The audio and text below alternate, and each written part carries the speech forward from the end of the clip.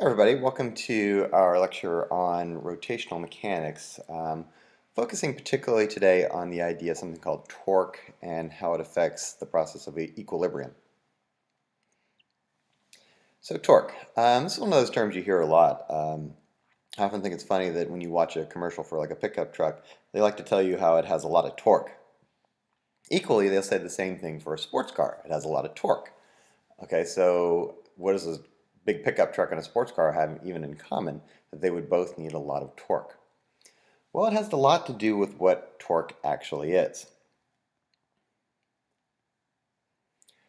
Torque is kind of like a turning force. Okay, and here's what I mean. Okay, let's say you've got a bolt you need to tighten.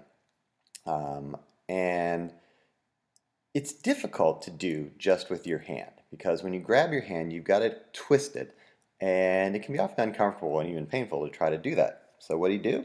You go and get a wrench. And now what the wrench does for you, that's my wrench, um, is it allows you to apply your force out here, okay?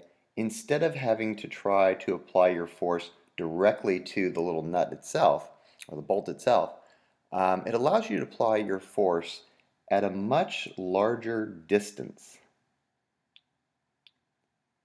than you would if you had to try to apply your force right there. Okay, so you don't want to do that. We don't want to apply the force right there because it makes it very difficult to turn. But when we apply it to the end of the wrench, it suddenly becomes very easy to turn this. Okay, so that force and that distance, or that sort of radius there, because it will turn in a circle, um, seems to give you a lot more leverage in order to turn it. And that's basically where the idea of torque comes in. Torque is the product of the amount of force you apply and the distance between where the force is applied and what's called the axis of rotation, basically where you're turning around. And it gives you an equation for torque. Torque, which is given by the Greek letter tau, is force times distance, or radius, times the sine of the angle at which you apply it. And the units of torque is the Newton meter. Now, be very careful here because remember, force times distance, that was also work, okay, which is in joules. But torque is not in joules. Okay, this is important. Even though a joule and a Newton meter are actually the same type of unit, um, torque and work are not the same thing. Okay, keep in mind, they are not the same thing. So, in our example here, if we had tried to apply our force right here to try to twist that, well, then the distance to the axis of rotation. Now, the axis of rotation is kind of your center of your circle if you were going to make a circle here. That would be very small. And if torque is force times distance times the sine of your angle, um, even with a big force, that little distance yields very little torque, very little ability to turn. Okay, so by increasing the distance, and that's where the wrench comes in, um, you're able to get more torque simply by increasing distance. Okay? So now, for example, if you've ever had to change a tire, and I highly recommend everybody, once you start driving, learn how to change a tire.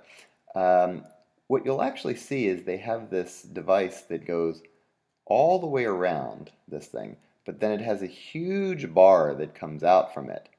Okay, and again, that allows even someone who's not that strong by having that long bar there, the ability to apply a large amount of torque. Okay? Now, where does that angle come in?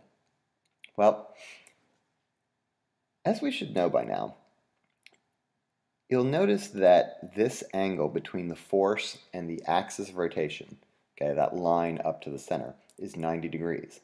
Okay, and the sine of 90 degrees is always 1. Okay? Now, if you take the sine of anything that is less than 90 degrees, you'll get something less than 1. Okay, so your maximum torque occurs at 90 degrees, always. And if you try, now, interestingly enough, if you were to try to take your sort of bolt here, and you took your wrench, and you applied your force right there, Okay, well, that's right along the axis, and that gives you an angle of 0 degrees. Well, the sine of 0 degrees is 0. Okay? Because you would just be pushing on it. You wouldn't be turning anything. Okay? So there would be actually no torque. Okay? So your maximum torque is at 90. Your zero torque is at 0 degrees. So let's look at a couple of examples. Opening a door. Okay. Well, Let's say our door is about um, 1.2 meters long. And we have the ability to apply only 6 newtons of force as we push on the doorknob. Okay? Now, it's going to rotate around the hinges. Okay? So let's say at one point one person comes and applies that force right there. But another person kind of comes walking up and applies the force like this at an angle of, let's say, 60 degrees. Torque, Fr sine theta. Okay? So the torque on the one on the left would be the amount of force, 6 newtons, the distance, 1.2 meters, the distance to the rotation point, the axis. And then the angle here is 90 degrees. That gives a torque of 7.2 newton meters. However, on the other door, same force, same distance, but now it's applied at a smaller angle. That gives you 6.24 newton meters of torque. Okay? So again, to always get your maximum torque requires that you apply your force at 90 degrees. Anything less will lower your torque. That's basically all there is to calculating a basic torque. At this point in my class, I usually tell this story. Um, if you ever watched the movie Jurassic Park, the original Jurassic Park, a long time ago, there's a great scene where uh, they're in the control room and the one kid's on the computer trying to boot up the computer to lock the doors because there's a velociraptor outside the door. And so it's pushing on the door, and the one guy gets, and he's pushing against the door, and he dropped his gun on the way to getting there. And then his partner, she comes over, and she's on the floor with her back right against practically the hinges. And he tells her to get the gun, and she says, No, um, I got to help you keep the door closed. But she's pushing on the hinges, so she's not really creating any torque at all. So she's not helping. Um, what she should do is you know, get up and get the gun and blast the velociraptor. Now the important thing is how we relate torque into this idea of equilibrium. Now we discussed equilibrium earlier in the year, but there were a couple properties whenever you had equilibrium. First of all, when something was in equilibrium, it could not accelerate. Now, that did not mean it was at rest. It could be at rest, but it also could be moving at a constant velocity. But the two primary conditions for equilibrium now that we understand torques can be involved is first of all, the sum of all forces acting on the object must be zero. We already know that from when we studied the idea of equilibrium under forces. The net force must be zero. There can be all kinds of forces acting, but when they all add up, they have to add to zero. That will lead to no acceleration. The second condition, though, now that there's this idea of torque, is that the sum of all torques acting the object must also be zero. Okay? And again, that means that there is no rotational acceleration. Now again, something could be spinning, um, but it has to rotate at a constant velocity, even with torques applied to it. But we're going to look at it in terms of sort of a static equilibrium, okay, where things really aren't moving around. And to do that, one of the things we also have to bring up again was Newton's idea of center of mass. And Newton said that the center of mass is the point where all the mass of an object is concentrated and where all forces are sort of considered to act upon. And it's also the location where torques can kind of act around. Okay? And this is sort of the way that we can balance things out. So let's sort of look at this uh, simulation here to get a basic idea of how to maintain equilibrium with torques. Now, one way is pretty obvious. For example, um, if I take a 10 kilogram mass and I put it on this seesaw at one meter. It takes it out of equilibrium. It's not equilibrium. So equally, if I take another 10 kilogram mass and put it at the same location, well now we have equilibrium. Okay, it's perfectly balanced out. But what if instead of having two 10 kilogram masses, I have one 10 kilogram one and one 5 kilogram one? Well, if I put the 5 kilogram one there, didn't balance it out, did it? So what do I need to do? Well, if I move it closer,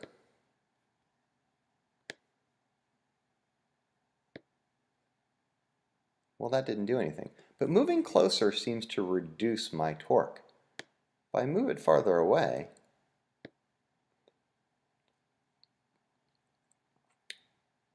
oh, that increased my torque to balance it out. Now let's look at the sort of logic of this. The weight of this is twice the weight of this. I'm calling saying weight even though it is mass, but the weight and mass are related. So the distance here is twice the distance of that. Okay, and that seems to make sense because force times distance would equal force times distance. Okay, so if I double the force on one side, I double the distance on the other side, and I get this idea of equilibrium. So let's look at that idea in terms of the situation here. Um, so let's say that we've got someone sitting on a seesaw and they have a mass of about 40 kilograms. And they're sitting two meters from the, what's the fancy name is the fulcrum, uh, but essentially the balance point here. Now, along comes our friend here, who let's say has a mass of 60 kilograms and wants to hop on the seesaw at the correct spot so that everything will be in equilibrium. Okay? Now, how to figure that out? Well, let's look at a free body diagram to start here. Okay, once that other person sits on here. Now, if we were to consider all the forces that were acting, well, First of all, we would have the weight of our person, mg, on the left. We'll have the weight, once they're on there, of our other person on the right. But that's not the only forces because notice that the seesaw has to have mass. So of course it has weight.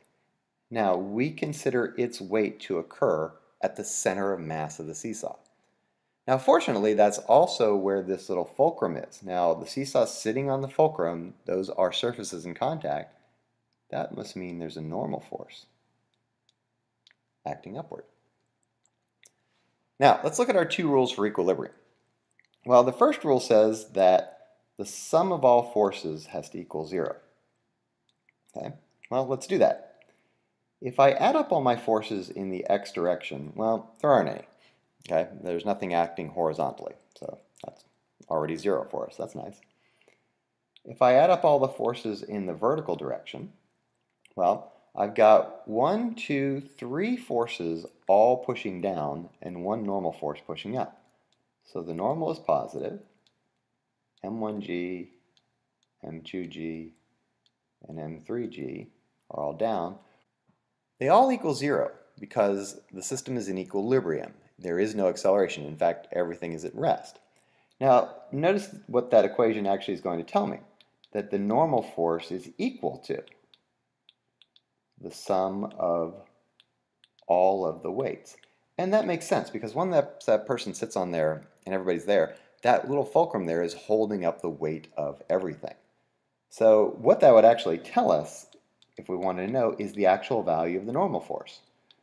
We have mass 1, 40 times gravity, mass 2, 60 times gravity, and we have mass 3, which is the seesaw itself. We can't ignore that, all times gravity. And so that tells us we have about 1200 newtons of force that that fulcrum is having to support. Okay. So what we've done is actually answered our second question here. What is the normal force applied by the fulcrum? Okay. Didn't even know we were looking for that, but apparently we were. So, what about the first question? How do we figure out where our friend is going to sit to perfectly balance that out? Well, that's where the sum of my torques come in. Now, here's where we have to be really careful. The center of mass of the seesaw is right here. And notice that the normal force and the weight both act at that point. Now, that means they cannot create any torque because R is zero for those two. Okay? There is no distance between their force and the center of rotation, or the axis of rotation, so they can't create a torque. However, mass 1 is going to cause the board to go this direction, okay, counterclockwise. Mass 2 is going to cause the board to try to rotate the other way, clockwise. So we have a torque here, and we have a torque here. Now they're in opposite directions. So technically when I sum my torques, I could say that torque 1 is positive, but then that makes torque 2 negative. Okay? Because they're acting in opposite directions. They're rotating in opposite directions. But what that tells me is that they need to be equal to be balanced. And that makes sense, doesn't it? So, this is F times R sine theta. This is F times R sine theta. Now you'll notice that both of the forces are acting 90 degrees to the um, seesaw, so we'll ignore the sine theta because that's going to equal 1. They're going to be equal to each other. Now, but what are those forces? Well, they're weight. So where force is, I can replace it with actually weight, mg, because that's really what it is.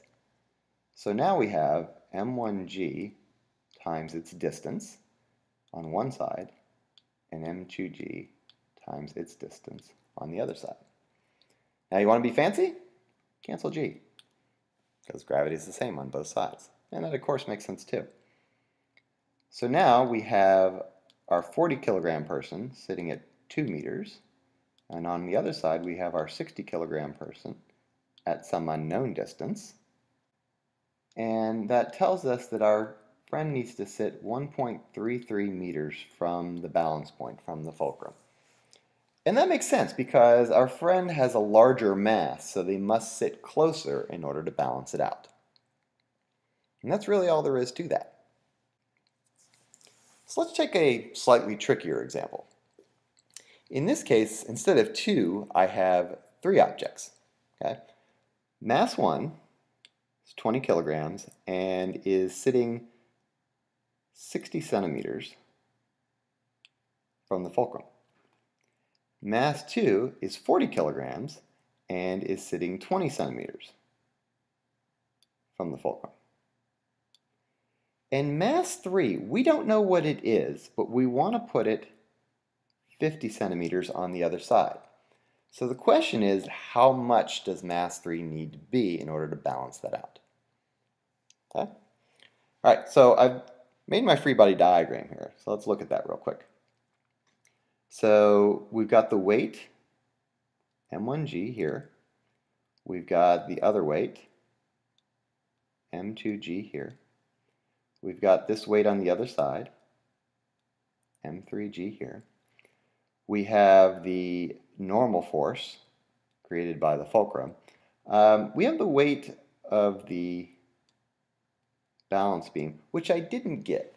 And I don't need it because I'm actually not looking for normal force here, so it's not important. Um, because we know that when it comes to the idea of torque, these guys aren't going to create a torque because they're right there at that center point. But in terms of torques, mass 1 creates a torque counterclockwise, and so does mass 2 because they're on the same side. Mass 3 creates a torque that goes clockwise. So the sum of my torques has to equal 0. Well, that means if I sum my torques, I have 1 and 2 acting together, and 3 opposing it. Or torque 1 plus 2 gives me torque 3. Torque 1 would be its force times its distance. Sine theta, I'm going to ignore that. They're all 90 degrees. Torque 2 would be however much force times its distance. torque 3, its force times its distance. And once again, here the forces are all weights. So m1g times its distance, r1, m2g, r2, equals m3g, r3. Again, I'm going to cancel my g out here. Okay. Now remember, I can, I can cancel g in this situation. If I was looking for normal force, I cannot cancel weight or gravity when I'm finding a normal force. Now I'll put in the values. This is 20. 60 centimeters is 0.6 meters. This is 40 kilograms. 20 centimeters is 0.2 meters. Over here we have our unknown mass. We don't know how much it is, but we do know we want to put it 50 centimeters or 0.5 meters. So that gives me 12 plus 8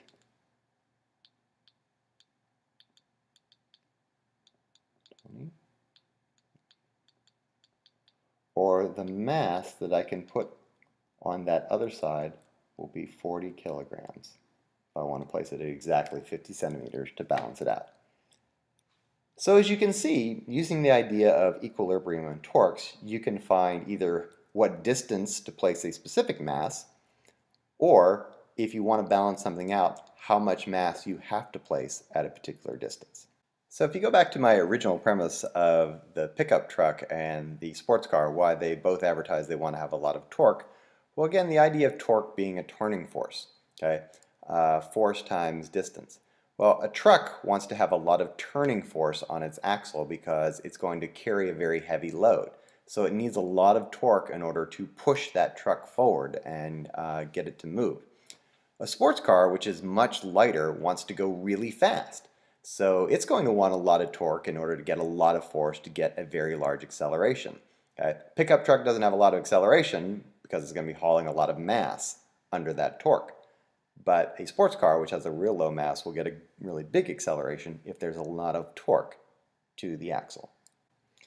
And that's basically the idea of torques and how it relates to equilibrium. All right, we'll see you next time.